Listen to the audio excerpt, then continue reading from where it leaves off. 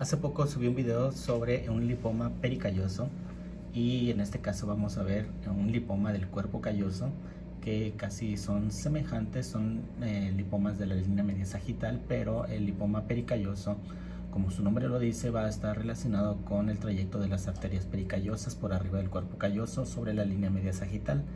El lipoma del cuerpo calloso, como pueden ver, es un lipoma que va a estar afectando lo que es la, estructura del cuerpo calloso. el origen de estos lipomas es semejante. Hay mucho sobre la, literatura sobre este tipo de lesiones, eh, sobre los lipomas de cuerpo calloso, eh, que tienen como origen las células eh, meningias primitivas, de meninges primitivas. Entonces, el, el, origen es igual, pero la localización va a ser diferente también habíamos visto que el lipoma pericalloso se iba a relacionar con trastornos de migración y otros trastornos del desarrollo del cerebro. En cambio aquí el lipoma eh, perdón, el lipoma del cuerpo calloso, este se va a relacionar directamente con anomalías del cuerpo calloso. Habitualmente el lipoma del cuerpo calloso se puede eh, relacionar con crisis convulsivas, pero también se puede relacionar con anomalías eh, de, por trastornos psicológicos o trastornos psiquiátricos, que es una característica también con la que se pueden presentar este tipo de pacientes. Debemos estar cuidadosos para ver la anomalía del cuerpo calloso. las anomalías del cuerpo calloso, aquí hay un, un artículo, este es un artículo muy bueno que habla sobre anomalías del cuerpo calloso, no exactamente una anomalía del cuerpo calloso va a estar relacionada siempre con un lipoma. Es más, es, raro que, es más rara la presentación de un lipoma eh, del cuerpo calloso que una anomalía de desarrollo del cuerpo calloso. Y aquí podemos ver las diferentes anomalías en este artículo que está muy muy bueno, se los recomiendo y en este caso vemos eh, también que toma tanto lo que es una genesia, una disgenesia del cuerpo calloso y eh, aborda también lo que son los lipomas. Entonces eh, debemos de tener cuidado, como les comentaba en el estudio del lipoma pericalloso, de cómo evaluar a este tipo de pacientes. Como ya sabemos entonces las características de un lipoma del cuerpo calloso, en, las secuencias de, resonancia magnética se va a caracterizar porque vamos a ver una imagen hiperintensa en secuencia T1, hiperintensa en secuencia T2, en T2 flare y esto va a estar relacionado con el comportamiento de la grasa.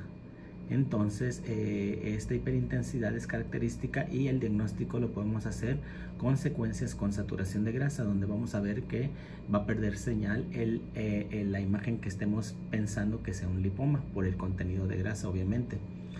Entonces, como les decía, eh, los lipomas es muy muy frecuente que los veamos, lipomas pequeños en la línea media sagital son muy frecuentes y pueden estar relacionados con calcificaciones y la mayor, la gran gran mayoría de las veces no van a estar relacionados con alguna anomalía estructural.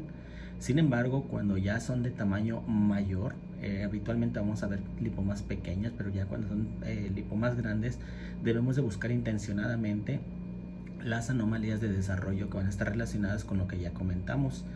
Entonces, en este caso, hablando del lipoma de cuerpo calloso, la anomalía generalmente va a estar directamente relacionada con el cuerpo calloso.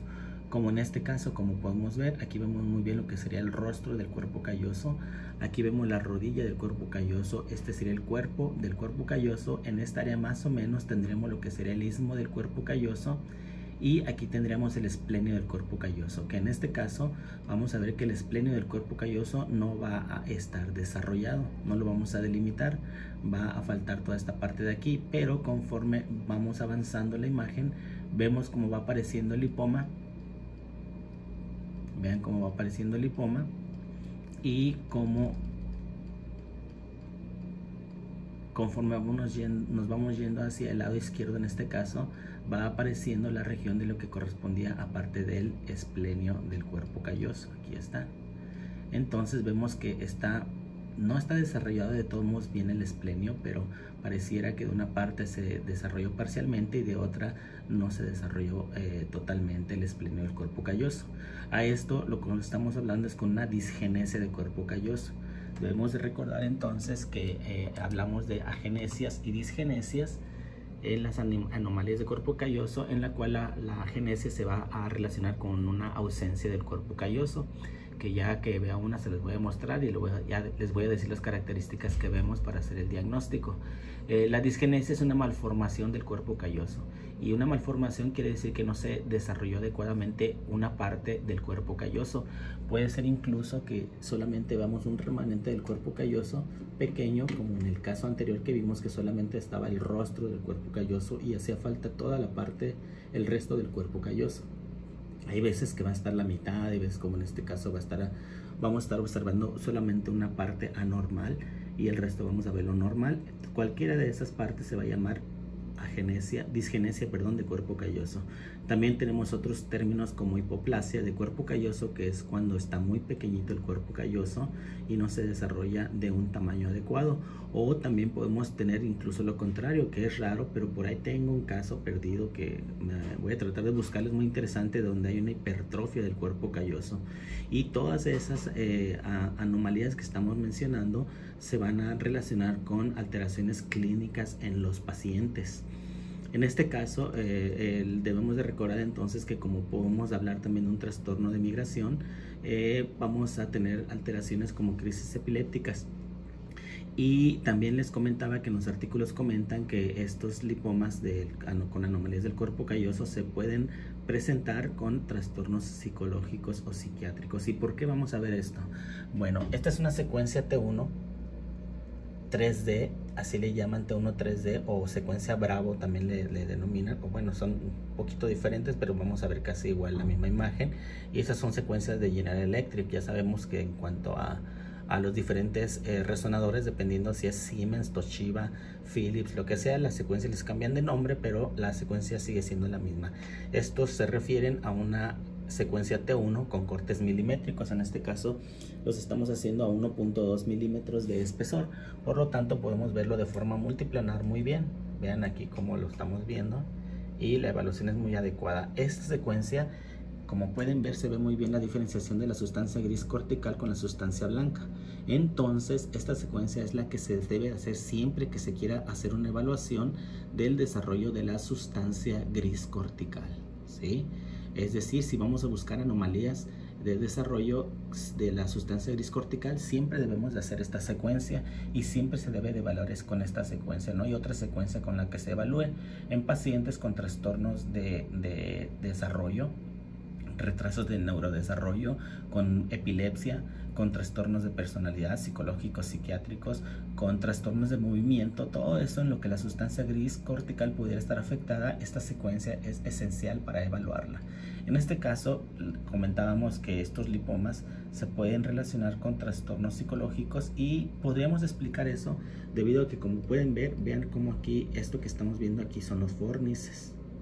Y debemos de recordar que los fornices son parte del sistema límbico y el sistema límbico está relacionado con los hipocampos y toda esa región temporal está relacionada con todo lo que el ser humano se relaciona con su medio ambiente en cuanto a personalidad. Entonces, algunas personas con trastornos psicológicos eh, podemos, pueden tener alteraciones a nivel de los hipocampos, las regiones temporales o en sí el sistema límbico. Esta es una parte por la cual podría estar relacionada la, afectación del lipoma del cuerpo calloso con este tipo de alteraciones. Entonces debemos de, esta podría ser la, la, la, causa y es por eso que la evaluación se debe de hacer con este tipo de, de, de primero que nada se debe hacer con resonancia magnética y en segundo con esta secuencia con las características que ya mencionamos para que podamos ver muy bien cómo está la afectación con estas alteraciones. También ven aquí cómo se afecta también una parte del tálamo del lado derecho, que debemos de recordar que la sustancia gris cortical se conecta con el tálamo y de esto en estas partes de aquí vamos a tener muchas alteraciones de movimiento. También estas partes son áreas de sustancia gris como podemos ver, y las áreas de sustancia gris cortical anormales pueden ser causantes de crisis epilépticas. Aparte de que debemos estar eh, bien bien seguros de que no hay alguna alteración en la sustancia gris cortical de los surcos y las cisuras para descartar que no haya eh, displasias, microgirias, polimicrogirias, eh, eh, licencefalias, etcétera, ¿no? Cualquier trastorno de migración que se va a relacionar con las crisis convulsivas. Y esto también nos da un enfoque, un desarrollo para pacientitos que tienen trastornos de neurodesarrollo eh, conductual o retraso psicomotor.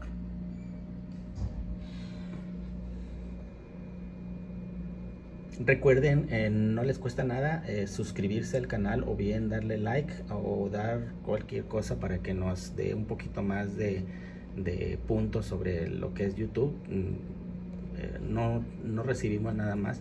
Esto lo, lo hago por, por amor al arte.